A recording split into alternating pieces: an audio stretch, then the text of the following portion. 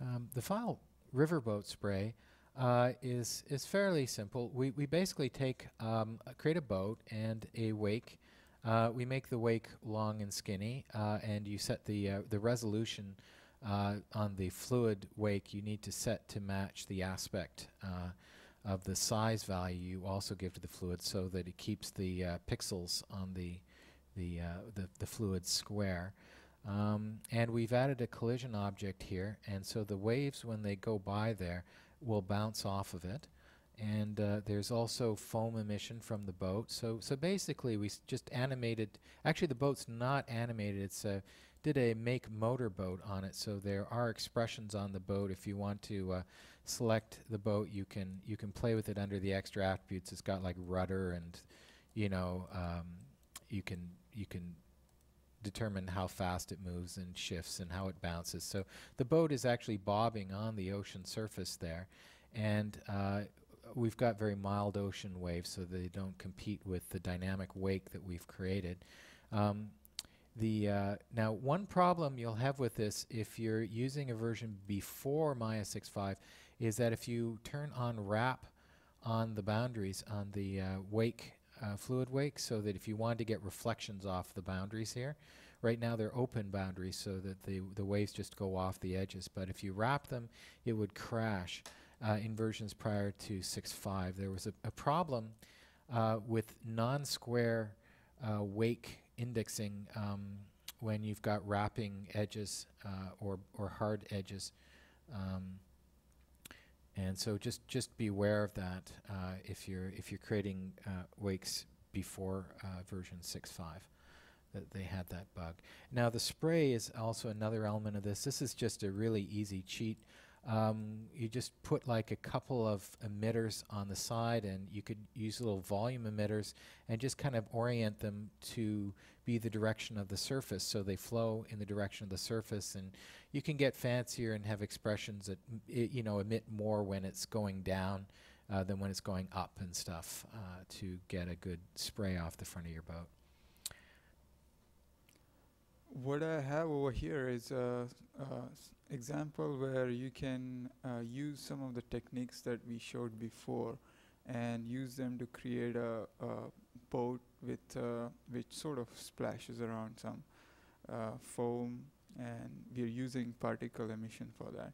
So if I play the uh, animation over here, you can see that uh, uh, it's emitting some particles that sort of um, hit the hull of the boat and then bounce off, fall into the ocean, and then as as they fall into the ocean, they also emit some foam in it.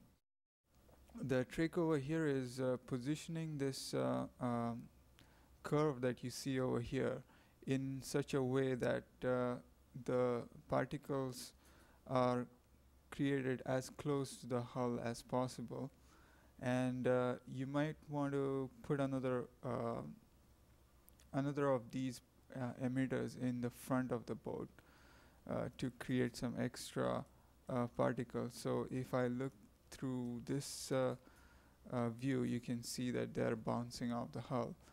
Um, the way to control the emission is to if you look at the uh, some of the uh, extra attributes that are on the ocean plane over here. Um, you'll see that there are some extra attributes and uh, you can increase the amount of uh, emission through through one of these uh, attributes. You can add extra foam uh, by increasing this. You can change the velocity threshold at which the particles are being emitted you could actually increase the upward velocity at which the particles get ejected by increasing that. Uh, or else you could give them extra bounce by increasing the extra velocity.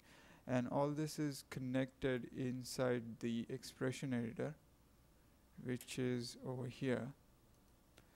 And uh, this is the emission uh, creation expression that actually controls it uh, it takes in all these extra attributes and pipes them into ultimately somewhere over here.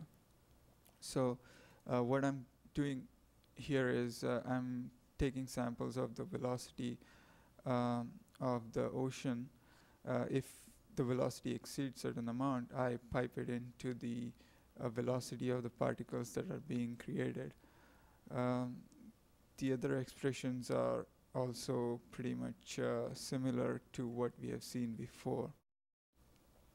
So if I play the animation and I'm just going to hide the attribute editor over here.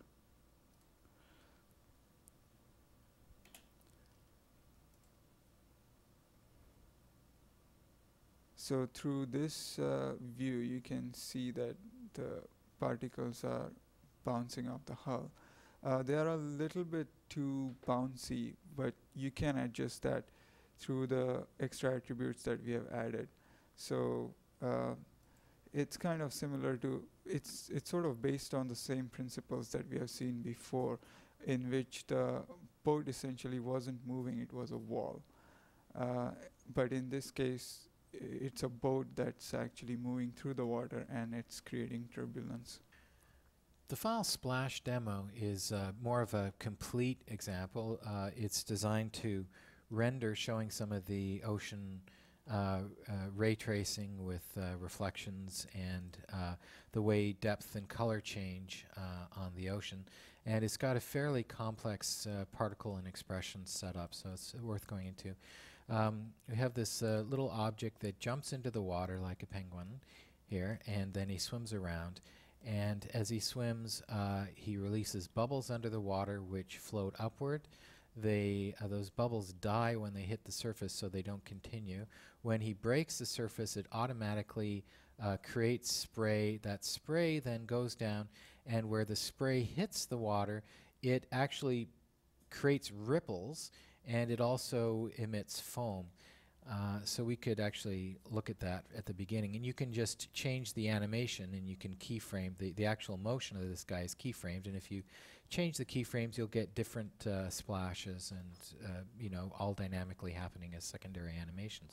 So uh, let's let's look at say uh, the initial splash here. As those particles go up, they come in and drop down, and we can look at that in more detail. We've got like an ocean preview plane here, and we can um, uh, you can move that around and. Uh, we could scale it or we could increase its resolution but if we just want to see a particular part in detail one way is to kind of scale it and that way we can we can see exactly how the uh, uh, stuff is locally behaving here, and it doesn't really slow down any because we're just looking at a portion of it.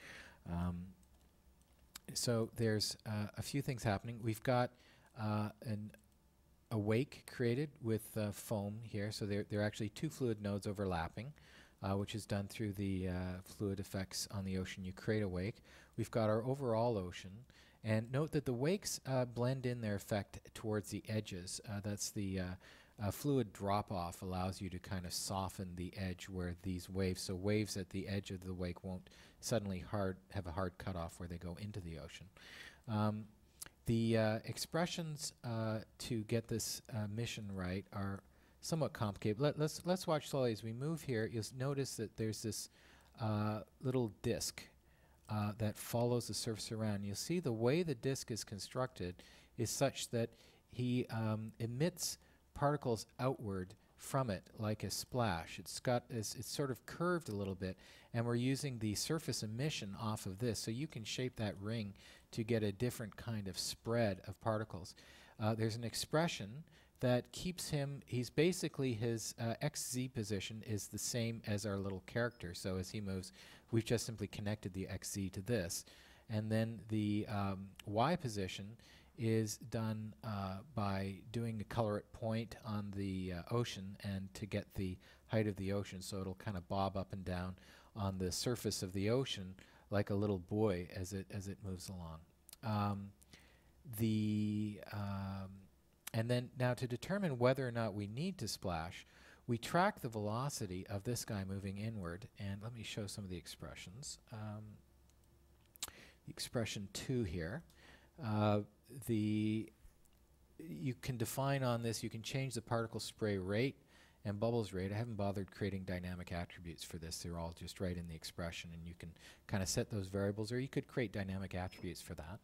Um, we find out the velocity of our, our little penguin guy by um, doing getAttr frame minus two, you know, dash time frame minus two.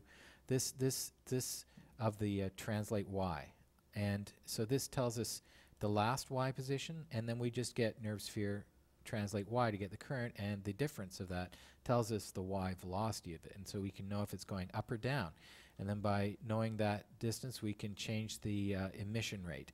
Um, and there's it, it gets a little more subtle, and there's some cutoffs and uh, and speed things, but that's basically uh, what's going on. We've got with these other particles um, uh, some expressions that, that handle the, uh, the the bubbles rising, and uh, also the uh, the em- this is uh, uh, you know just uh, creating the particles so that they they create on the surface and die when they fall back into the surface. So you can you can pull out those expressions and kind of analyze them to see a bit more what's going on with this example.